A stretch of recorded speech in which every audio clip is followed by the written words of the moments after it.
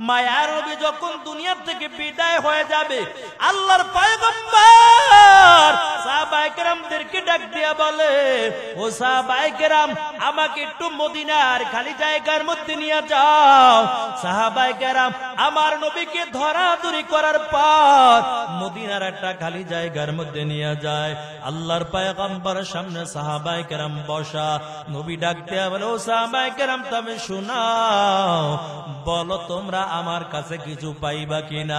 কারণ আমার মনে হয় আমি নবী আর বেশি দিন দুনিয়ার জমিনে বাঁচবো না। তবে বলো, তোমরা আমার কাছে কিছু পাইবা কিনা? হঠাৎ করে একজন সাবি দাঁড়াইয়া যায়, ডাক দিয়ে বলে, ও নবী আমার, আপনি আমার কাছে ঋণী আছেন। আল্লাহর পয়গম্বর বলে, কি পাইবা বলো? ওই লোকটা তখন বলে, ও নবী আমার, একদিন আপনার কাছে ভিক্ষুক এসেছিল আপনার কাছে টাকা ছিল না। আমার কাছ থেকে তিন দেরাম নিয়ে আপনি ভিক্ষুককে দিয়েছিলেন। ও পয়গম্বর, ওই তিন দেরাম আপনি আমাকে এখনও দেন নাই। ওই তিন দেরাম আপনি আমাকে দিয়া দেন। আল্লাহর পয়গম্বর সাহাবী ফজলকে ডেকে বলি রে ফজল এই সাহাবিকে তিন দেড়হাম দিয়া দাও। যখন ফজল সাহাবিকে তিন দেড়হাম দিয়া দিল, মায়ের নবী আবার ডাক দিয়া বলে, ও সাহাবাই কেরাম, তবে শুনো, বলো তোমরা আমার কাছে আর কিছু পাইবা কিনা? হঠাৎ করে আর একজন সাহাবি দাঁড়াইয়া যায়। ডাক দিয়ে বলে আপনি আমার কাছে ঋণী আছে আমি আপনার কাছে পাইবা। ওই সাহাবির কথা শোনার পর আল্লাহর নবী বলে, কি পাইবা বলো? সাহাবি ডাক দেয়া বলে, নবী আমার, আপনিও যুদ্ধের ময়দানে ছিলেন। আমিও যুদ্ধের ময়দানে ছিলাম। আপনি গোড়ার পিঠে বসে বসে চাবুকটা ঘুরাইতেছিলেন। আমার কোনো অন্যায় অপরাধ ছিল না। ভুলবশত চাবুকের আঘাত আমার পিঠের মধ্যে লেগে গেছে। ও নবী আমার, এই চাবুকের আঘাত আজকে আমি আপনার গায়ের মধ্যে করতে চাই। সাহাবায় কেরাম কান্না করে আর বলে, এরে সাহাবি, তুই কি পাগল হয়ে গেলি নাকি বল? কেমন করে আমার নবীর গায়ের মধ্যে চাবুকের আঘাতটা করব? আমার নবী তো বড় অসুস্থ, আজকে তো ইসলামের বড় বিজয়। কেমন করে আমার নবীর গায়ের মধ্যে চাবুকের আঘাত করবা? ওই সাবি দাঁড়াইয়া বলে, আমি তোমাদের কারও কথা শুনতে রাজি না। আমি চাবুক দিয়ে এখন নবীর গায়ের মধ্যে আঘাতটা করতে চাই। আল্লাহর পয়গম্বর সাহাবি ফজলকে ডাক দিয়া বলে, ফজল, ওই যুদ্ধের ময়দানে চাবুকটা ফাতেমার ঘরের মধ্যে রাখা। জলদি করে যাও। ওই চাবুকটাই না সাহাবির হাতের মধ্যে দাও। আর আমার পিঠের মধ্যে চাবুক দিয়ে আঘাত করে দিবে। কারণ আমি কারও ঋণ নিয়ে নবী কবরে যেতে চাই না। ফজল হাতে হাতে ফাতেমার গরির কিনারায় হাজির হয়। ডাক দেয়া বলে, ফাতেমা, দাও। ওই যুদ্ধের ময়দানে চাবুকটা দাও। ফাতেমা ডেকে বলে, রে ফজল, আমার বাবা এত বড় অসুস্থ। বল, আমার বাবা এখন চাবুক দিয়া কি করবে? ফজল চোখের পানি ছেড়ে দিয়া কাঁদে আর বলে, ফাতেমা, আমার নবীর সামনে এমন একজন সাহাবি আজকে দাঁড়ানো। যুদ্ধের ময়দানে অজান্তে চাবুকের আঘাত তার পিঠের মধ্যে লেগেছে। ওই সাহাবি আজকে আমার নবীর গায়ের মধ্যে চাবুকের আঘাতটা করবে। ফাতেমা চাবুকটা ফজল হাতের মধ্যে দিয়া বলে, রে ফজল তবে চাবুকটা তোমার হাতের মধ্যে দিলাম। চাবুক নিয়ে আমার বাবার কাছে দিবা। তবে তুমি জীবদ্দশায় যেন আমার বাবার গায়ের মধ্যে চাবুক দিয়ে আঘাত করতে না পারে। কারণ আমার বাবা তো বড় এতিম। দুনিয়ার জমিনের মধ্যে বাবা আসার পর তার জন্মদাতা বাবার চেহারা দেখতে পারল না। ছয় বছরে কালে মা দুনিয়া থেকে বিদায় হয়ে গেছে। আমার বাবা এত বড় এটি এরে বাজাল আর আমার বাবাই বড় অসুস্থ। ইমানের জন্য ওই মক্কার কাফের দল আমার বাবাকে কষ্ট কম দেয় না। কয়েকদিনের দাওয়াত নিয়ে যখন মক্কার জমিনে হারতাম, ওই কাফের দল আমার নবীর গায়ের মধ্যে পাথরগুলো বৃষ্টির মতো মারত। আর বলতো, দেখ পাগল যায়, কে কত পারা, গায়ের মধ্যে পাথরগুলো মারতে থাকো। যে যত পাথর মারবা মারবা তাকে তত পুরস্কার দেওয়া হবে। রে আল্লাহর বান্দা, মাঝে মাঝে মাঝে রক্ত মাকা শরীর নিয়ে রাত্র বেলা খাদিজার ঘরে হাজির হয়ে যাইতো। খাদিজা আমার নবীর দিকে তাকাইয়া চোখের পানি ছেড়ে দিয়ে কান্তর বলো পয়গম্বার, আপনার গায়ের শরীরে রক্তগুলো কারা ঝরাইছে বলে? আল্লাহর নবী কান্না করতার বলে, খাদিজা, আমি যখন মক্কার জমিন ইমানের দাওয়াত দেই, এই মক্কার বেঈমানরা আমার গায়ের মধ্যে পাথর মারে। তবে কার কাছে দুঃখের কথা বলব? আবার তো জমিনে মা নাই, বাবা নাই। কাদিজা বলতো, নবী আমার, আপনার চিন্তা করা লাগবে না। এই মক্কার জমিনের মধ্যে আমি যতদিন বেঁচে থাকব, আপনার মাথার উপর আমি ছায়া স্বরূপ থাকব।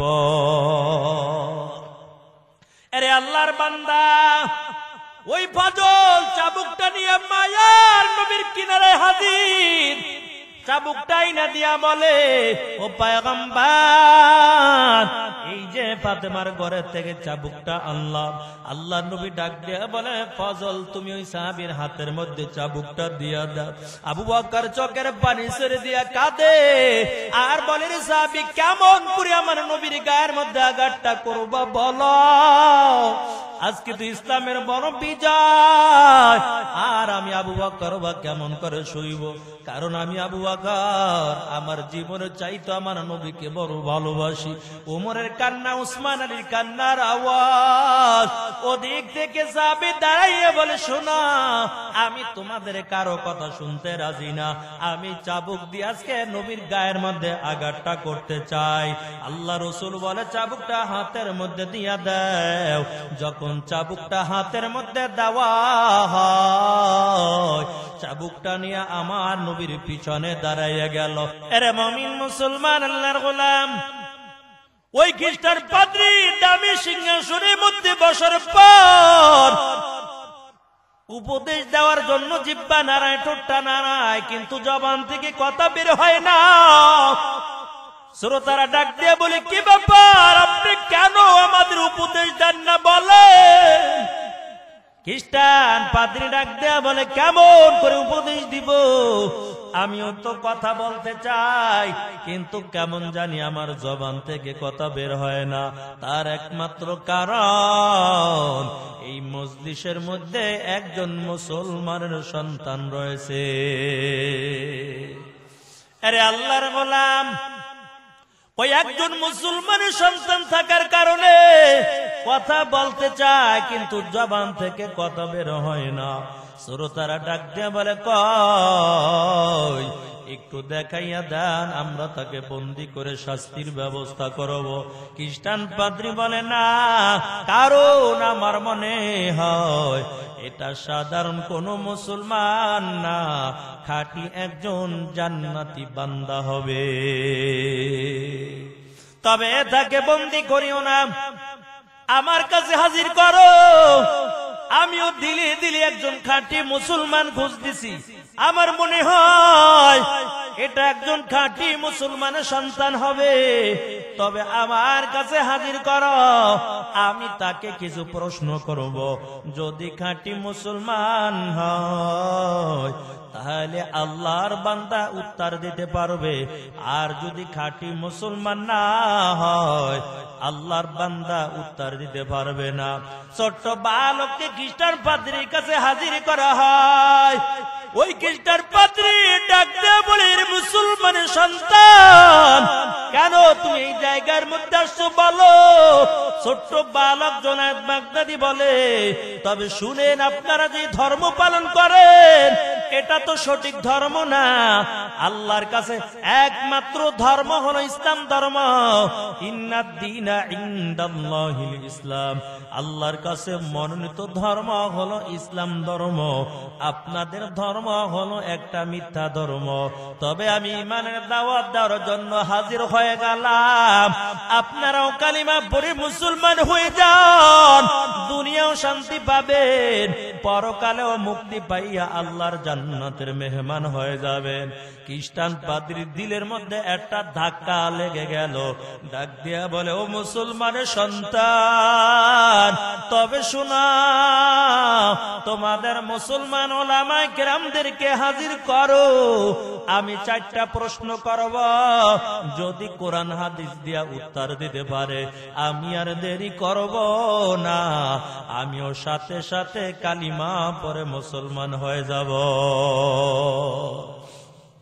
এর নবীর আশেকের দল, ওই ছোট্ট বালক জুনেদ বাগদাদি রহমাতুল্লাহ শত শত ওলামায় গ্রামদেরকে হাজির করল। এক পাশে শত শত ওলামায় গ্রাম বসা, আর এক পাশে হাজার হাজার খ্রিস্টান শ্রোতার দল। খ্রিস্টান পাদ্রী দামি সিংহাসনের মধ্যে বসার পর ডাক দিয়া বলে, ও মুসলমান ওলামায় গ্রাম তবে শুনো আমি চারটা প্রশ্ন করব। যদি কোরআন হাদিস দিয়ে উত্তর দিতে পারো, আমি আর দেরি করব না। আমি সাথে সাথে কালিমা পরে মুসলমান হয়ে যাব। আর যদি সঠিক উত্তর না দিতে পারো, আমি তোমাদের বন্দি করে শাস্তির ব্যবস্থা করে দিব। মুসলমান ওলামায় কেরাম ডাক দিয়া বলে, ও খ্রিস্টান শ্রোতার দল তবে আমাদের মুসলমানের দিনের মধ্যে এমন কোনো ভয় নাই। তোমরা প্রশ্ন করো ইনশা আল্লাহ আমরা তোমাদের প্রশ্নের উত্তর দিয়ে দিব। এর নবীর উম্মাতের দাল ওই খ্রিস্টান পাত্রী, দামে সিংহাসনের মধ্যে বসার পর। মুসলমানদেরকে এক নম্বর প্রশ্ন করে, ও মুসলমান ওলামাই কেরাম শুনো, আমার এক নম্বর প্রশ্ন হলো, বলো, আল্লাহ এখন কি করে? দুই নাম্বার প্রশ্ন হলো, বলো, আল্লাহ কোন দিকে তাকানো আছে? তিন নাম্বারে বলো, কোন জায়গার মধ্যে সূর্যের আলোটা একবার পড়েছে? আর কেমতের আগে ওই জায়গার মধ্যে সূর্যের আলো পড়বে না। চার নম্বরে বল, কোন কবরটাও জিন্দা ছিল, কবরের বাসিন্দাও জিন্দা। আবার জিন্দা কবরটা চলাফেরা করেছে। এই চারটা প্রশ্নের উত্তর যদি দাও, আমরাও কালিমা পরে মুসলমান হয়ে যাব। আর যদি উত্তর সঠিক না হয়, তোমাদের বন্দি করে তারপরে শাস্তির ব্যবস্থা করব। এরে আল্লাহর বান্দা। সব ওলামায়ে গ্রাম মাথানি যদি আল্লাহর কাছে দোয়া করে, আর বলে, মালিক, আয় আল্লাহ, যুগে যুগে মুসলমানে বিজয় দান করেছ। আয় আল্লাহ, আজকেও মুসলমানদের বেজতি করব না। আয় আল্লাহ, আমাদের এমন জ্ঞান দান করে দাও। আমরাও জানি আজকে বিজয় হতে পারি। এমন করে করে দিলটা লাগাইয়া আল্লাহর কাছে দোয়া করতেছে। এরে আল্লাহর বান্দা, হঠাৎ করে ছোট্ট বালক দাঁড়াইয়া বলে, ও মুসলমান ওলামায় কেরাম, শোনা, তোমাদের কোনো চিন্তা করা লাগবে না। এই খ্রিস্টান চার প্রশ্নের উত্তর দেওয়ার জন্য আমি মুসলমানের সন্তান। জোনায়দ বাগদাদি একাই যথেষ্ট। এরে আল্লাহর বান্দাম সব খ্রিস্টান শ্রোতার ধনবাগ হয়ে গেল। কেমন করে বলবে ছোট্ট বালক? এরে আল্লাহর বান্দা, খ্রিস্টান পাদ্রি ডাক দিয়ে বলে, আসো বলো। এই চার প্রশ্ন উত্তর দিতে পারলে আমি এই মজলিসের মধ্যে কালিমা পরে মুসলমান হয়ে যাব। ছোট্ট বালক আস্তে আস্তে করে খ্রিস্টান পাদ্রি কিনারায় হাজির হয়ে গেল। ডাক দিয়া বলে, খ্রিস্টান পাদ্রি, তবে শুনেন, আমি আপনার চার প্রশ্নের উত্তর দিব। তবে তার আগে আমিও একটা কথা বলতে চাই। বলে, কি বলবা বলো? বলে আমি বলতে চাই যে প্রশ্ন করে সে বড় না যে উত্তর দেয় সে বড়। কয় যে প্রশ্নের উত্তর দেয় সেই তো বড়। কয়, তাহলে আপনি দামি সিংহাসন থেকে নিচে নেমে যান। আমি এখন দামি সিংহাসনের মধ্যে বসে উত্তর দিয়ে দিব। এরে আল্লাহর বান্দা, খ্রিস্টান পাদ্রী দামি সিংহাসন থেকে নেমে যায়।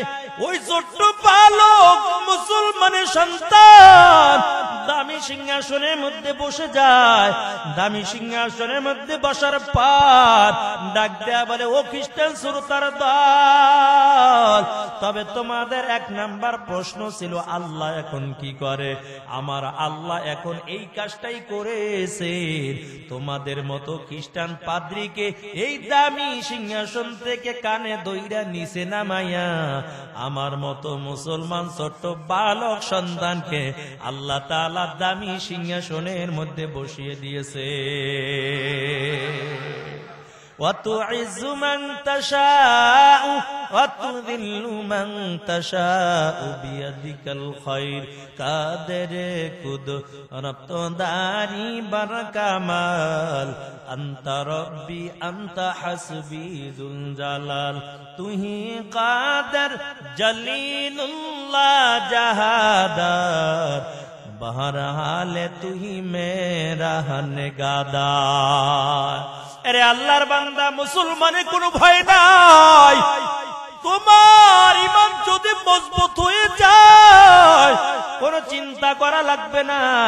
ইমানটা যদি মজবুত হয়, ওই বান্দা ফাঁসির কাস্টের দাঁড়াইয়াও বলবে, আমার রব হলো একমাত্র আল্লাহ।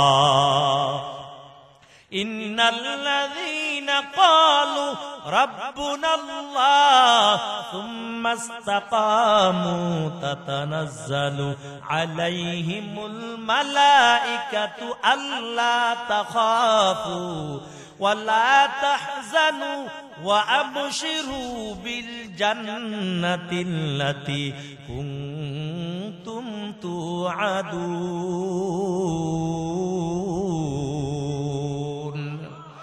এই কালাম জিন্দা কুরআনে হাকিম হিকমতে উলায়া জালস্ত কদিম বাকা কুরআন কালামুল্লাহ বাসানা কদিমাস্তি কদিমাস্তি নইনা এর নবীর আশিকের দান। এর যুবক ইমানটা মজবুত করে নাও রে যুবক। তুমি আর কাজকে কার মায়ায় পরে আজকে দাড়িটা কামাও? কার মহব্বতে পরে আজকে টুপিটা ছেড়ে দিয়েছ? কার ভালোবাসায় পরে আজকে লম্বা জামাটা ছেড়ে দিয়েছ? তুমি কি জানো? অন্ধকার কবরে আপন বলতে কেউ নাই। অন্ধকার কবরে একমাত্র আপন হলো আমার আল্লাহ। তবে ওই বেইমানের দল যত ষড়যন্ত্র করবে, কোনো লাভ নাই। আল্লাহ তাআলা তবে মাঝে মাঝে মুসলমানদের একটু পরীক্ষা করবে। একটু ইমানের পরীক্ষা নিবে। মুসা আল্লাহ তাআলা কেমন করে হেফাজত করেছে? ওই ফেরাউনকে আল্লাহ ক্ষমতা কম দেয় নাই? আল্লাহ দুনিয়ার জমিনে আবার ধ্বংস করে দিয়েছে। ফেরাউন বড় ক্ষমতার মালিক হওয়ার পর রাজত্ব বসে বসে রাজত্ব চালায়, আর বড় অহংকারী ভাব নিয়ে চলে। এর আল্লাহর বান্দা, আল্লাহ তালা বারবার স্বপ্নের মাধ্যমে সাবধান করে দেয়। ওরে ফেরাউন, তবে সাবধান হয়ে যাও। তবে ইমানদার বান্দার উপর জুলুম করি না, অত্যাচার করিও না। কিন্তু না না, বারবার ভালো স্বপ্ন দেখে না, খারাপ স্বপ্ন দেখতেছে। ফেরাউনের মাথা বারো গরম হয়ে গেল। সকাল বেলা ওই রাজদরবারে হাজির হয়। সব গণকের দলকে ডাকলো। এ গণকের দল, একটু গণনা কইরা দেখো আমার ভবিষ্যৎবাণী কি দেখা যায়। সব গণকের দল গণনা করে কয় বাদশাহ মহারাজ, আপনার ভবিষ্যৎবাণী তো তেমন একটা ভালো দেখা যায় না। বলে, কেন ভালো দেখা যায় না? এই জমিনের মধ্যে আল্লাহ তাআলা মায়ের গর্ভের মাধ্যমে এমন একটা ছেলে সন্তান পাঠাইলো। যেই সন্তান বড় হইয়া আপনার রাজত্ব সব তসনস করে দিবে। ফেরাউনের মাথা বড় গরম হয়ে গেল। ডাক দিয়ে বলে মিশরে শূন্য তাড়াতাড়ি বের হয়ে যাও। মিশরের জমিনের মধ্যে ছড়িয়ে যাও। দেখো কার ঘরের মধ্যে নবজাত সন্তান আছে। তাকে কতল করে নীল নদীর মধ্যে বাসাইবা। ওই জবানার মধ্যে একজন আর দুইজন না। আশি হাজার ছোট্ট ছোট্ট মাসুম বাচ্চাকে কতল করে নীল নদীর মধ্যে বসাইল। এরে আল্লাহর বান্দা, আবার ফেরাউন ডাক দিয়ে বলে, একটু দেখো, এখন ওই শূন্য আছে কি আমার শত্রু দুনিয়ায় বেঁচে আছে কিনা দেখো। আবার সব কোন দল ডাক দেয়া বলে, বাদশাহ মহারাজ, যেই শত্রুকে মারার জন্য আশি হাজার ছোট্ট ছোট্ট নাবালক সন্তানকে কতল করলেন, এখন পর্যন্ত ওই সন্তানকে আপনি মারতে পারেন নাই। ওই সন্তানকে আল্লাহ এখনও দুনিয়ার জমিনে বাঁচাইয়া রাখছে। ফেরাউনের মাথা বড় গরম হয়ে গেল। আবার ডাক দিয়ে বলে, তাড়াতাড়ি মিশরের জমিনে সরিয়ে যাও দেখো কোন ঘরের মধ্যে নবজার সন্তান আছে, তাকে কতল করে নীল নদীর মধ্যে বাসাইবা। তবে কোন মেয়ে সন্তান না, যদি ছেলে সন্তান পাও কতল করে দিবা। হাঁটতে হাঁটতে মুসা নবীর বাড়ির কিনারায় চলে গেল। মুসা নবীর একটা বোন ছিল, নাম ছিল মরিয়ম। এই মরিয়ম সকাল বেলা যখন একটু বাড়ির বাহিরে চলে গেল, নজর করে দেখতে পায়, ওই ফেরাউনের শূন্য বাহিনী মুসা নবীর বাড়ির দিকে আসা শুরু করে দিয়েছে। মরিয়ম একটা দৌড় দিয়ে আবার ঘরের মধ্যে হাজির। ডাক দিয়ে বলে আমার ভাই মুসাকে বাঁচানো আর বুঝি সম্ভব না। মুসা নবীর মা ডাক বলে, কেন? ওই মরিয়ম ডেকে বলে, মা, একটু নজর করে দেখো, ওই যে ফেরাউনের শূন্য বাহিনী আমাদের বাড়ির দিকে আসতেছে। মুসা নবীর মা, তাওয়াটা আগুনের মধ্যে দিয়া, চুলার মধ্যে দিয়া রুটি বাজতেছিল। মুসা নবীর মা বড় চিন্তার মধ্যে পড়ে গেল। আমার মুসাকে এখন কোথায় লুকাবো? ওই যে ফেরাউনের শূন্য বাহিনী আসতেছে। এখন যদি আমার ছোট্ট বালক মুসাকে পায়, কতল করে নীল নদীর মধ্যে বসাইবে? মায়ের দিলের মধ্যে তো সন্তানের মায়া। মা মুসাকে বুকের মধ্যে জড়াইয়া একবার ডানে যায়, বামে যায়, সামনে পিছনে যায়। মুসা নবীকে কোথাও লুকানোর জায়গা নাই। এলে আল্লাহর বান্দা হাত দুইটা আসমানের দিকে বাড়াইয়া বলে মালিক আজকে তুমি আমার মুসাকে বাঁচাও। আয় আল্লাহ, আমার কোলের থেকে আমার সন্তান কিনিয়া কতল করে দিবে? আমি মা সইতে পারব না, তুমি আমার সন্তানকে বাঁচাও। এমন করে করে হাত দুইটা বাড়াইয়া আল্লাহর কাছে দোয়া করল। আল্লাহ তাআলা মায়ের দোয়া কবুল করে নিল। হঠাৎ করে কানের মধ্যে একটা আওয়াজ কে জানি ডেকে ডেকে বলে যায়, ও মুসার মা তোমার চিন্তা করা লাগবে না। ওই যে ফেরাউনের শূন্য বাহিনী আসতেছে, তবে যে চুলার মধ্যে তাওয়াটা দিয়া রুটি বাজতেছ তুমি ওই চুলার মধ্যে মুসাকে দিয়া রুটি বাজার ভান ধরে বসে থাকো। মুসা নবীর মা চিন্তা করে, এই আগুনের মধ্যে যদি আমার সন্তান মুসাকে দেয় না জানি জ্বলে পুরে সরকার হয়ে যাবে। ওদিক থেকে মরিয়ম ডেকে বলে, মা, ওই যে ফিরাউনের শূন্য বাহিনী ঘরের কিনারায় হাজির হয়ে গেছে। কেমন করে এখন আমার ভাই মুসাকে বাঁচাইবা? মুসা নবীর মা, আর কোন উপায় পায় না। তাড়াতাড়ি নিজের সন্তানকে বাঁচানোর জন্য তাওয়াটা সরাইয়া চুলার মধ্যে মুসাকে দিয়া আগের মতো রুটি, বাজার ভান ধরে তারপরে বসে আছে। এরে আল্লাহর বান্দা, ওদিক থেকে ফেরাউনের শূন্য বাহিনী ঘরের মধ্যে ঢুকার পর ডানে নজর দেয়, বামেও নজর দেয়। কিন্তু না, এই ঘরের মধ্যে কোন নবজান সন্তান পায় না। আবার যখন ঘর থেকে বের হয়ে গেল, মুসা নবীর মা মরিয়মকে ডাক দিয়া বলে, মরিয়ম, তবে শুন। দেখো, একটু পানি নিয়ে আসো। এই চুলার আগুন বন্ধ করে দেখো। তোমার ভাই মুসা আসে না? জ্বলে পুরে সরকার হয়ে গেছে। মরিয়ম যখন চুলার মধ্যে পানি দেয় এই চুলার নিচে থেকে মুসা নবীর কান্নার আওয়াজ বেশি উঠে যায় ومكروا ومكر الله والله خير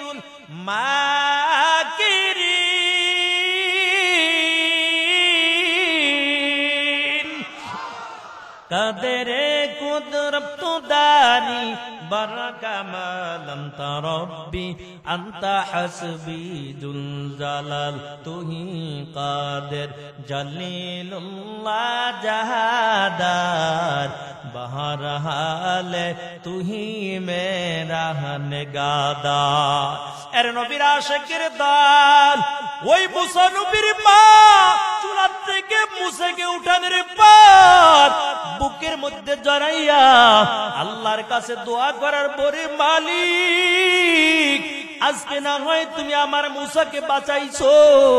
আয় আল্লাহ। আগামীকাল আবার যদি ফেরাউনের শূন্য বাহিনী আসে, আয় আল্লাহ, কেমন করে আমার সন্তান আমি মুসাকে বাঁচাইব বল। এমন করে করে চিন্তা করতে করতে ঘুমিয়ে গেল। কারণ সন্তানের জন্য তো বড় মায়া। এরে যুবক ভাই, তোমার মাকে আজকে গ্রামে রাইকা তুমি শহরে চাকরি করার জন্য আসছো। একটা বার তোমার মায়ের কাছে ফোন দিয়া দেখবা। রাত্র একটা বাজেও যদি তোমার মায়ের কাছে ফোনটা দাও, ফোনটা রিসিভ করার পর যদি মাকে বলো, মা, তুমি কি ঘুমাও না? মা একটা আওয়াজ দিয়া বলবে, কেমন জানি আমার চোখের মধ্যে ঘুম আসে না। আর রাত্র একটা বাজে যদি বিবির কাছে ফোন দাও, গরম মেজাজ নিয়ে বলবে, এত রাত্রে কেন আমার ঘুমে ডিস্টার্ব করো? এর নাম হলো মা আর এর নাম হলো বিবি। আজকে মায়ের কলিজা আঘাত দিয়ে বিভিন্ন শহরে বাড়িতে আরামে ঘুমাও। এর যুবক মায়ের কলিজায় আঘাত বিভিন্ন যুবক। মায়ের কাছ থেকে দোয়া নিবা, জীবন বড় ধন্য হয়ে যাবে। মা বাবা যদি দোয়া করে দেয়, দুনিয়াও শান্তি, পরকালেও মুক্তি পাইয়া যাইবা। আল্লাহ রসুল বলেন, তোমার মায়ের পায়ের নিচে তোমার জান্নাত, তোমার মায়ের পায়ের নিচে তোমার জান্নাত। মায়ের খেদমত কর, মায়ের খেদমত করার কারণে আল্লাহ তালা পরকালে জান্নাতের মেহমান বানাবে। ছোট্ট বালক বাইজিৎ বুস্তামি রহমাতুল্লাহ আলাই মা ডাক দিয়ে বলে, রে বাইজিৎ একটা গ্লাস পানি দাও। বাইজিৎ বুস্তামি পানি আনার জন্য একটু দূরে চলে যায়। আইসা দেখে মা ঘুমিয়ে যায়। মাকে আর জাগায় না। পানির গ্লাসটা নিয়ে মারি শীতনে দাঁড়ানো। মাকে যদি জাগায়, মা বড় কষ্ট পেয়ে যাবে।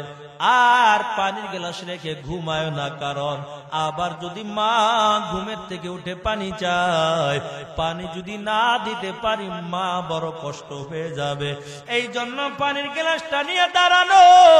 সকাল বেলা জান হয়ে যায় মসজিদের মাইকে আসসালাতু খায়রুম মিনান নাউম এমন করে করে যখন মসজিদের মাইকে আজান হয়ে গেল, মায়ের ঘুমটা ভেঙে গেল, নজর করে দেখতে পায় বাইজি ছোট্ট বালক পানির গেলাস নিয়ে মায়ের শীতনে দাঁড়ানো। মা ডাক দেয়া বলে, বাইজি, তুমি কি ঘুমাও না? ছোট্ট বালক ডাক দিয়ে বলে, মা, কেমন করে ঘুমাইব? তুমি পানি চেয়েছো? কলসির কাছে গেলাম, পানি পাইলাম না। পানি আনার জন্য একটু দূরে চলে গেলাম। পানি নিয়ে আইসা দেখি মা, তুমি ঘুমিয়ে গেছো? আমি তোমাকে জাগাই না, তোমার বড় কষ্ট হয়ে যাবে। আবার ঘুমাইও না, যদি আবার পানি চাও, যদি পানি না দিতে পারি। এরে আল্লাহর বান্দা, বাইজিদ বোস্তামির মা উজু করার পর দুই রাকাত নামাজ আদায় করিয়া সন্তানকে বুকে ধরাইয়া হাত দুইটা আল্লাহর কাছে বাড়াইছে। আর বলে, মালিক, আমার সন্তানের জন্য আমি হাত বাড়াইলাম, তোমার কাছে আল্লাহ আমার সন্তানকে জবানার বড় ওলি বানাইয়া দাও। মায়ের দোয়া করার কারণে বাইজিদ বোস্তামিকে ওই জবানার বড় ওলি হিসেবে আল্লাহ কবুল করে নিয়েছে। মায়ের দোয়া লও হে মমিন, মায়ের দোয়া লও। মায়ের দোয়া লও হে মমিন, মায়ের দোয়া লও। বিপদে পড়বে না তুমি যখন যেথায় যাও। বিপদে পড়বে না তুমি যখন যেথায় যাও। মায়ের দোয়া লও হে মমিন, মায়ের দোয়া লও। এর নবীর উম্মতের দাল। মুসা পয়গম্বরে মা আবার দোয়া করতেছে আল্লাহ।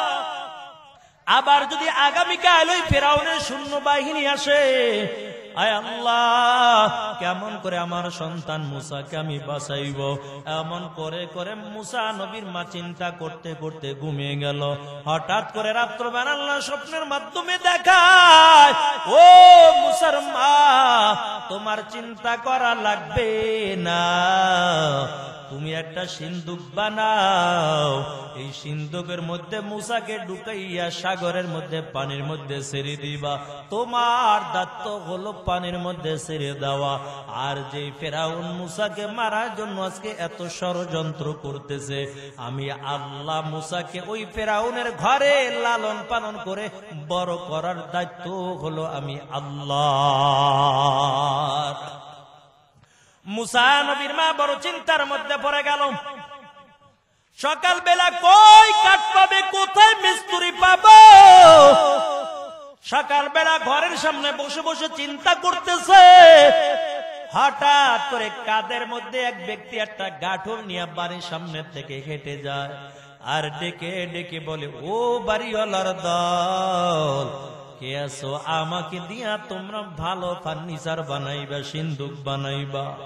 আওয়াজটা যখন মুসা নবীর মায়ের কানের মধ্যে চলে যায়, ওই মুসা নবীর মা ডাক দিয়ে বলে যুবক, আসো, আমার বাড়িতে আসো, আমাকে একটা সিন্দুক বানাইয়া দাও, তবে শোনাও, কেমন করে সিন্দুক বানাইবা? আমার কাছে কাঠ নাই, লোহা নাই হাতুরি বাটুল কিছুই নাই। তবে কেমন করে আমি সিন্ধুক বানাইব? যুবক ডাক দিয়া বলো, মুসার মা, তোমার কোনো চিন্তা করা লাগবে না। তোমার সিন্ধুক বানানোর জন্য যা কিছু দরকার, সব কিছুই আমার গাঠুরির মধ্যে রয়েছে।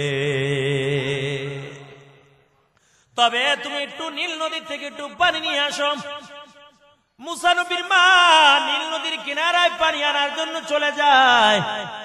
ওদিক থেকে আইসা দেখে যুবক তাড়াতাড়ি এত সুন্দর করে একটা সিন্ধুক বানাইয়া বসে আছে। মুসানবীর মা বড় অবাক হয়ে গেল, ডাক দিয়ে বলে, যুবক, কেমন করে এত তাড়াতাড়ি এত সুন্দর সিন্ধুক বানাইলা বল? এরে যুবক, এত তাড়াতাড়ি করে কেমন করে সিন্ধুক বানাইছো? তবে তোমার কাঠের দামটা কত, লোহার দাম কত পালো? এই যুবক ডাক দেয়া বলে, ও মুসার মা আমার কাঠের দামেরও দরকার নাই, আমার লোহার দামেরও দরকার নাই। সিন্ধুক আমি তোমাকে বানিয়ে দিলাম, যাও যাও, তুমি সিন্ধুক নিয়ে চলে যাও। মুসা নবীর মা ডাক দেয়া বলে, যুবক যদিও তোমার মজুরি না নাও, কমপক্ষে হলেও তোমার কাঠের দামটা নিয়ে যাও। এই কথা বলে যখন টাকা আনার জন্য চলে গেল, আর যুবককে ডেকে বলে, যুবক, একটু অপেক্ষা করো। মুসা নবীর মা একটু পরে আইসা দেখে যুবক আর ওই জায়গার মধ্যে নাই, হাঁটতে হাঁটতে অনেক দূরে চলে গেল। মুসা নবীর মা পিছনে পিছনে ডাকে আর বলে, যুবক, একটু দাঁড়াও, তোমার কাঠের দামটা নিয়ে যাও রে যুবক। না হয় তোমার মজুরিটাও নিয়ে যাও। যুবক ডাক দেয়া বলে, ও মুসার মা, আমার কাঠের দামের দরকার নাই। আমার লোক আমি তোমাকে সিন্ধুক দিয়া দিলাম। মুসা নবীর মা তারপরও পিছে পিছে হাঁটে। কিন্তু মুসা নবীর মা দশ কদম সামনে বাড়ায়, আর যুবক এক কদম সামনে বাড়ায়। দশ কদম বাড়াইয়া যতটুকু সামনে না যায়, এক কদম বাড়াইয়া তার চেয়ে দ্বিগুণ দূরে চলে যায়। আস্তে আস্তে করে মুসা নবীর মায়ের চোখের আড়াল হয়ে যাইতেছে। আবার মুসা নবীর মাটা ডাক দিয়ে বলে যুব কমপক্ষে হলো তোমার কাঠের দামটা নিয়ে যাও।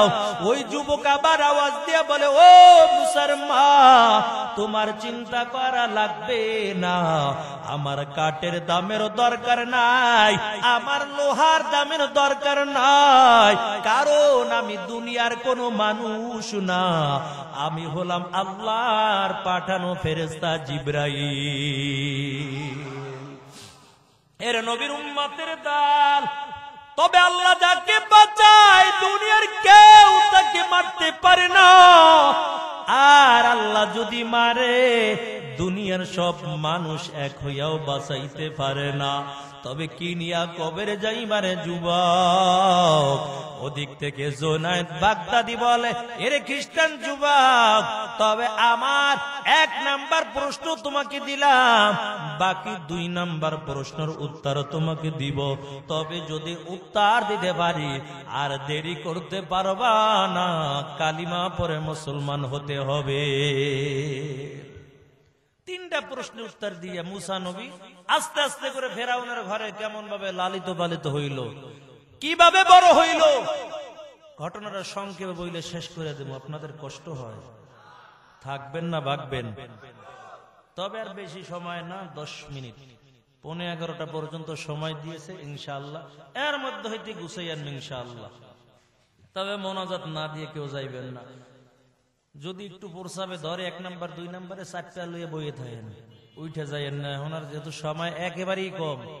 কারণ এই মনোজাত কারও জন্য জীবনের শেষ মনোজাত হতে পারে, কি বলেন? তবে ইমানটা যেন মজবুত করে তারপরে যেন কবরে যেতে পারি, সকলে বলেন আমিন। কারণ আল্লাহ দুইটা কর্মসূচি দিয়েছেন, এক নাম্বার ইমান দুই নাম্বার নেক আমল। এক নাম্বার ইমান দুই নাম্বার নেক আমল। ইমান আনার পর বান্দা যত আমল করবে, আল্লাহ তালা আমলের বিনিময় কামতের ময়দানে নাজাতের ফয়সলা করে দিবে। তা ইমান মজবুত করা লাগবে, ইমানটা মজবুত করা লাগবে। আমরা কালিমা পড়েছি, ইমান আছে। তো ইমানটা মজবুত করা লাগবে, আমল বেশি বেশি করে করা লাগবে। আল্লাহ তাআলাও বলেন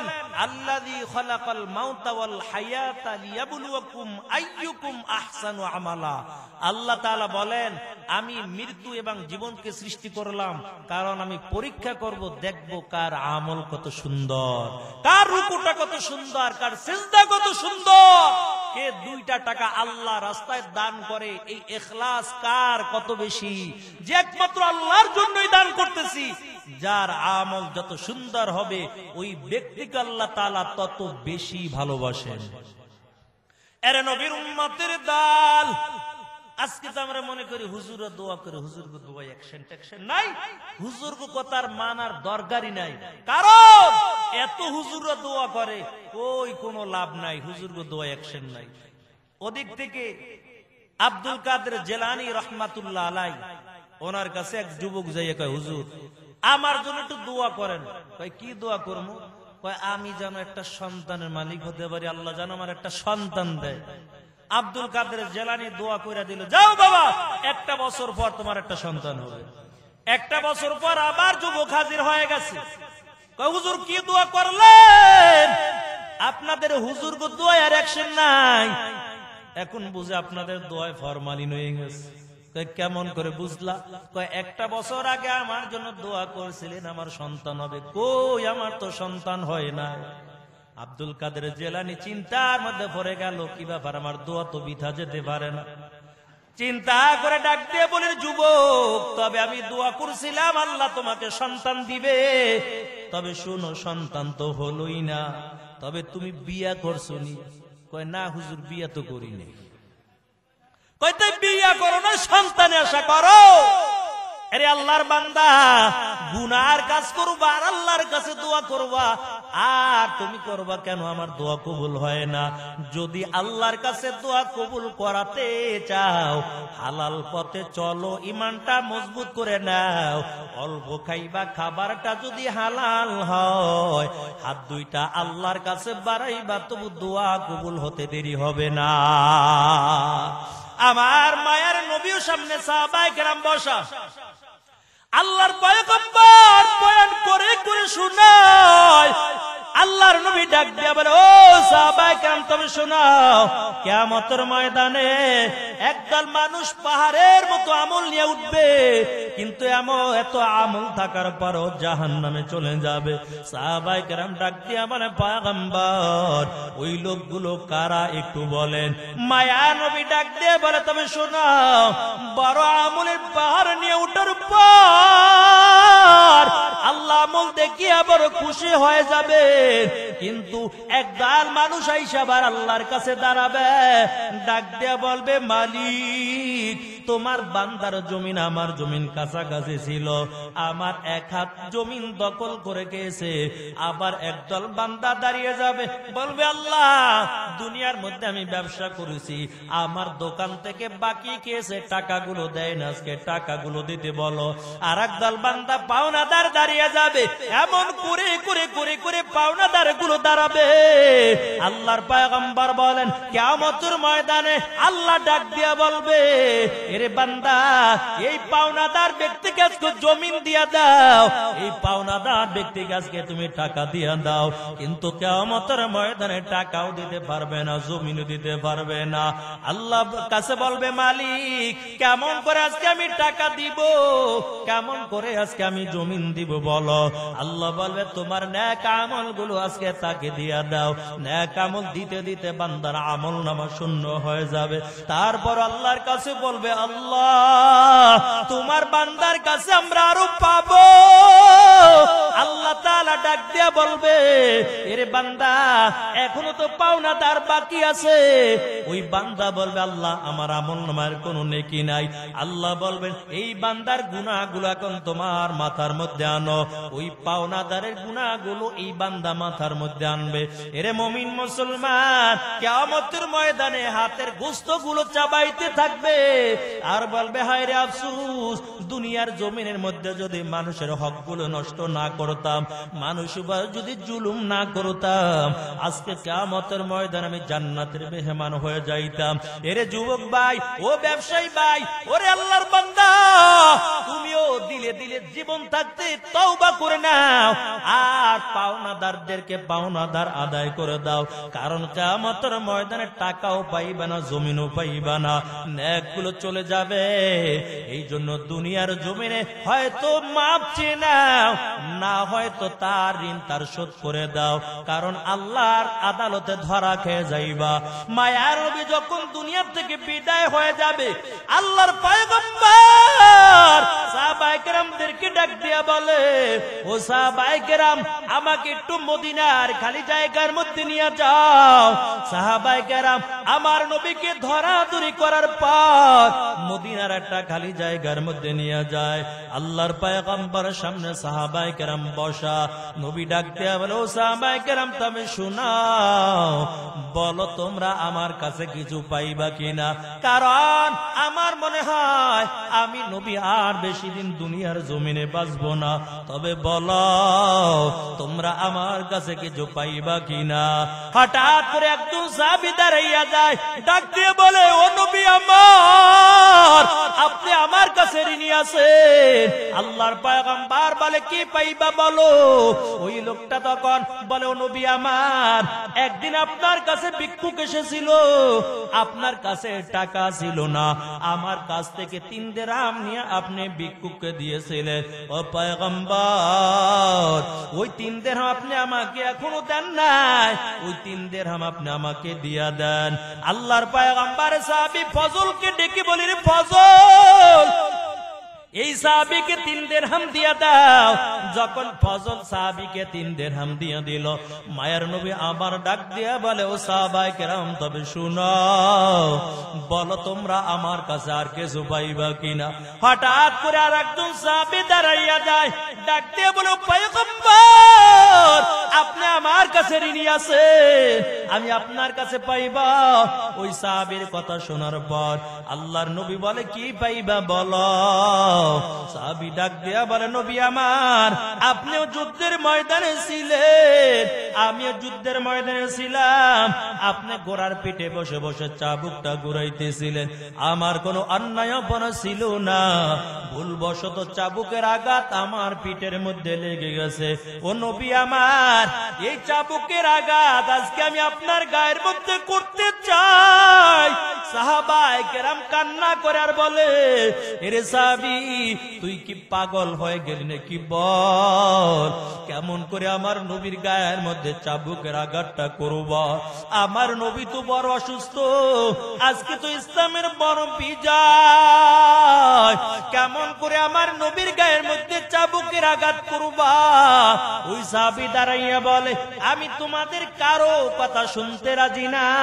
আমি চাবুক দিয়ে এখন নবীর গায়ের মধ্যে আঘাতটা করতে চাই। আল্লাহর পয়গম্বর সাহাবি ফজলকে ডাক দিয়া বলে, ফজল, ওই যুদ্ধের ময়দানে চাবুকটা ফাতেমার ঘরের মধ্যে রাখা। জলদি করে যাও। ওই চাবুকটাই না সাহাবির হাতের মধ্যে দাও। আর আমার পিঠের মধ্যে চাবুক দিয়ে আঘাত করে দিবে। কারণ আমি কারও ঋণ নিয়ে নবী কবরে যেতে চাই না। ফজল হাতে হাতে ফাতেমার গরির কিনারায় হাজির হয়। ডাক দিয়া বলে ফাতেমা দাও, ওই যুদ্ধের ময়দানে চাবুকটা দাও। ফাতেমা ডেকে বলে, রে ফজল, আমার বাবা এত বড় অসুস্থ। বল, আমার বাবা এখন চাবুক দিয়া কি করবে? ফজল চোখের পানি ছেড়ে দিয়া কাঁদে আর বলে, ফাতেমা, আমার নবীর সামনে এমন একজন সাহাবি আজকে তারা দাঁড়ানো। যুদ্ধের ময়দানে অজান্তে চাবুকের আঘাত তার পিঠের মধ্যে লেগেছে। ওই সাহাবি আজকে আমার নবীর গায়ের মধ্যে চাবুকের আঘাতটা করবে। ফাতেমা চাবুকটা ফজল হাতের মধ্যে দিয়া বলে, রে ফজল তবে চাবুকটা তোমার হাতের মধ্যে দিলাম। চাবুক নিয়ে আমার বাবার কাছে দিবা।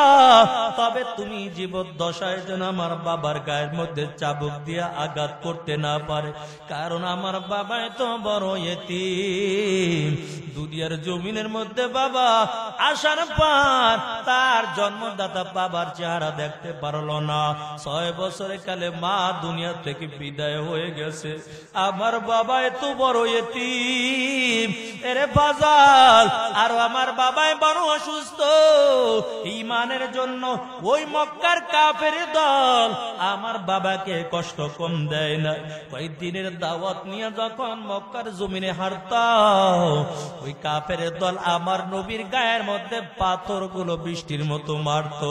আর বলতো, দেখ পাগল যায়, কে কত পারা, গায়ের মধ্যে পাথরগুলো মারতে থাকো। যে যত পাথর মারবা, তাকে তত পুরস্কার দেওয়া হবে। রে আল্লাহর বান্দা, মাঝে মাঝে রক্ত মাখা শরীর নিয়ে রাত্র বেলা খাদিজার ঘরে হাজির হয়ে যাইতো। খাদিজা আমার নবীর দিকে তাকাইয়া চোখের পানি ছেড়ে দিয়ে কান্তর বলো পয়গম্বার আপনার গায়ের শরীরে রক্তগুলো কারা জড়াইছে বলে। আল্লাহর নবী কান্না করতার বলে, খাদিজা, আমি যখন মক্কার জমিন ইমানের দাওয়াত দেই, এই মক্কার বেঈমানরা আমার গায়ের মধ্যে পাথর মারে। তবে কার কাছে দুঃখের কথা বলব? আবার তো জমিনে মা নাই, বাবা নাই। কাদিজা বলতো, নবী আমার, আপনার চিন্তা করা লাগবে না। এই মক্কার জমিনের মধ্যে আমি যতদিন বেঁচে থাকব, আপনার মাথার উপর আমি ছায়া স্বরূপ থাকব। আরে আল্লাহর বান্দা, ওই ফজল চাবুকটা নিয়ে মায়ার নবীর কিনারে হাজির। চাবুকটাই না দিয়া বলে, ও পায়গম্বার, এই যে ফাতেমার ঘরের থেকে চাবুকটা আল্লাহ আল্লাহ নবী ডাক দিয়া বলে, ফজল, তুমি ওই সাহাবীর হাতের মধ্যে চাবুকটা দিয়া দাও। আবু বকর চকের পানি ছেড়ে দিয়া কাঁদে, আর বলে, রে সাহাবী, কেমন করে আমার নবীর গায়ের মধ্যে আঘাতটা করবা বলো? আজকে তো ইসলামের বড় বিজয়। আর আমি আবু বকর বা কেমন করে শুইব? কারণ আমি আবু বকর, আমার জীবনের চাইতো আমার নবীকে বড় ভালোবাসি। উমরের কান্না, উসমান আলীর কান্নার আওয়াজ। ওদিক থেকে যাবে দাঁড়াইয়ে বলে, শোনা, আমি তোমাদের কারও কথা শুনতে রাজি না। আমি চাবুক দিয়ে আজকে নবীর গায়ের মধ্যে আঘাতটা করতে চাই। আল্লাহ রসুল বলে, চাবুকটা হাতের মধ্যে দিয়া দেও। যখন চাবুকটা হাতের মধ্যে দেওয়া হয়, চাবুকটা নিয়ে আমার নবীর পিছনে দাঁড়াইয়া গেল। ডাক দিয়ে বলে, পায়গাম্বার